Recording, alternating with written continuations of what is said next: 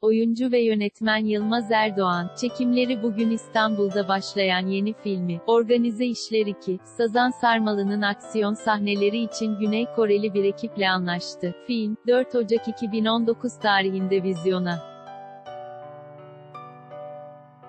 girecek, Yılmaz Erdoğan imzalı, Organize İşler 2, Sazan Sarmalı, filminin çekimleri başladı. Yılmaz Erdoğan'a başrollerde Kıvanç Tatlıtuğ, Ezgi Mola, Ekin Türkmen, Mahir İpek, Ben Susoral ve Okan Çabalar'ın eşlik edeceği.